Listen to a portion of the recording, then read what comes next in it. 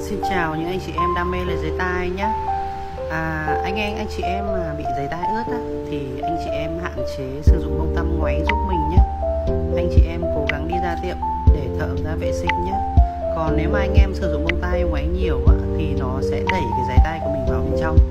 Và một thời gian dài á, nó sẽ đóng cứng lại Và rất là khó để mà lấy vệ sinh nhé Đấy giống như bạn khách của mình đây. Bạn ấy bị giấy tai ướt ngoài bông cho nên là nó đã đóng cứng lại và cái cây nạy của mình gần như là không thể nạy được luôn. Đấy, cực kỳ cứng luôn. Anh em để ý xem nhé. Đấy, nó cứng. Nếu mà để cứng quá thường thường những dái tai ướt thì nó cái tai của mọi người nó khá là nhạy cảm.